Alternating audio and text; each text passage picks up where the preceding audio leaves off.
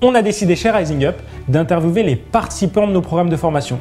Comme nous ne faisons pas les choses comme tout le monde, nous avons décidé de les interviewer six mois plus tard. Allons découvrir les effets et les connaissances qu'ils ont réussi à mobiliser dans leur quotidien. Bonjour Katia, merci beaucoup d'être avec nous aujourd'hui.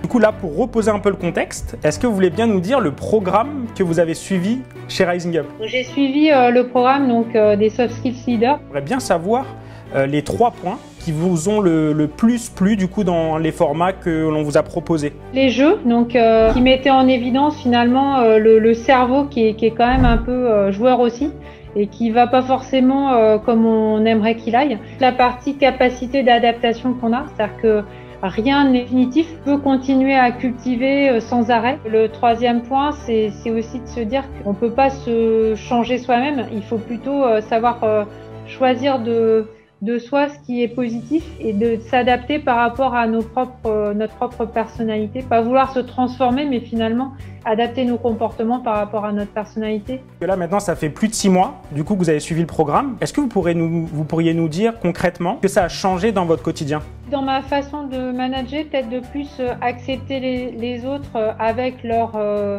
pas chercher à ce qui me ressemble, mais euh, accepter avec leur, euh, leur personnalité et leurs euh, points positifs. Vous aviez une, une, petite anecdote à nous partager que vous avez vécu lors du programme, du coup que ce soit en atelier, lors du séminaire ou même sur la plateforme. Le fait de, de travailler en équipe, de, que chacun finalement travaille sur les soft skills des autres. Vous recommanderiez du coup ce programme pour d'autres managers? Complètement, ouais. Enfin, quel que soit d'ailleurs manager ou que ce soit des, grosses équipes ou des petites équipes, euh, je pense que l'intérêt c'est de bien se connaître, de savoir décrypter aussi euh, les autres et euh, permettre de prendre du recul aussi sur, sur soi-même sans que ce soit mal vécu. Parce qu'en fait, on prend soi-même conscience de, de, ses, de ses points forts, de ses points améliorés, sans que ce soit le manager qui pointe du doigt. Le résultat est d'autant plus efficace. J'ai trouvé ça euh, très intéressant. Le côté ludique était aussi euh, bien amené, quoi. Hein. On se rappelle toujours mieux de ce, qu'on,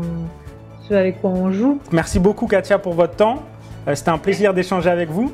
Et puis, de toute façon, j'ai une petite surprise après, après cette petite vidéo à vous envoyer. Très bien. Merci, au revoir. Au revoir.